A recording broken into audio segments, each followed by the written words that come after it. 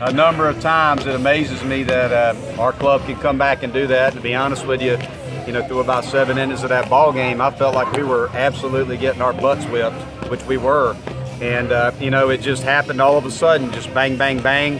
And, uh, you know, we got back in this thing, tied it up, and, you know, got it to extra innings, and uh, a couple leadoff guys got on. And, uh, you know, I'm so happy for Eli White. You know, Eli White has struggled uh, offensively for us some this year, and for him to come up with that huge hit uh, was just big for us. So I'm so happy for Eli to be able to come up with a hit right there and win the ball game for us. Was it good to see him get his hands inside the baseball and, and, and pull one with authority? Yeah, absolutely. You know, Eli's a guy that, you know, he's he's at his best when he's aggressive, and I think sometimes he tries to fill for contact.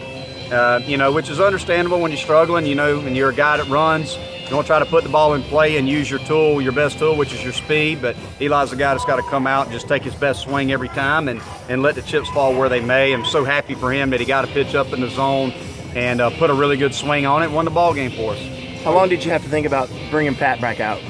Well, you know, the good thing about last night was that we could bring him back today. You know, with that delay being as long as it was, you know, we just decided that, you know, because of the field, it was getting late, got a bunch of rain on the field, you know, it gave us the opportunity to be able to bring him back today, and he threw the ball well, did just enough to get us to win.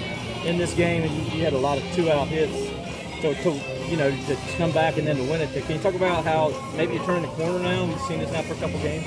Well, I certainly hope so. You know, and, and as I've said many times, I mean, momentum in a baseball game is dictated on the mound.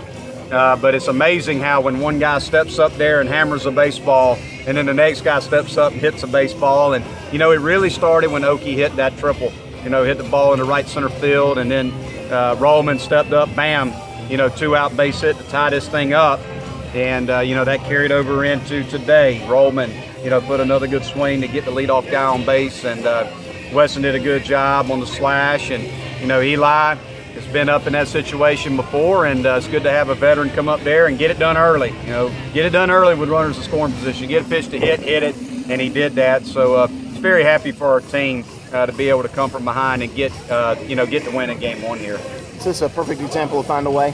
Just finding a way. You know, again, I don't, I don't have the answer for it outside of we're going to compete every pitch. We just got to compete every pitch, and you know, we play a lot of ugly baseball games, but we find a way to win them sometimes. And I think it's just because, you know, our guys don't get too down, they don't get too up, they just keep kind of plugging along and playing. And, uh, you know, we do a lot of things that, that we shouldn't do in a ball game. Uh, but we just find a way sometimes, and you know, hopefully that can lead to winning the series today. Hopefully we can play a clean ball game. We need to score early in game two here, and we need to find a way to score early, and hope, hopefully Eubanks uh, can keep them off balance they got a really good offense, very aggressive offense, but it's a very right-handed lineup. So he should be a good matchup. He usually pitches well at home, and uh, hopefully win, win the series in one day.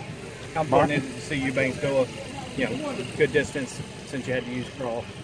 Well, you know, we want him to go deep. There's no doubt about it, but we're just taking it one game at a time. I know that's, you know, kind of a cliche, but it's it's really important for us to just worry about each game. You know, we're not looking at the standings. We're not looking at any of that. We're just trying to win the next. We need league wins. So we're going to go Eubanks, and we're going to use everybody that we got that's available to help us win this second game. And, you know, when the dust clears, we'll see who's left, and we'll start that guy in game three. But I'm not even worried about that right now. We just hope Eubanks can go out, compete, give us a chance, get us deep in the game, and hopefully offensively we find a way to score early and often and, and win the series.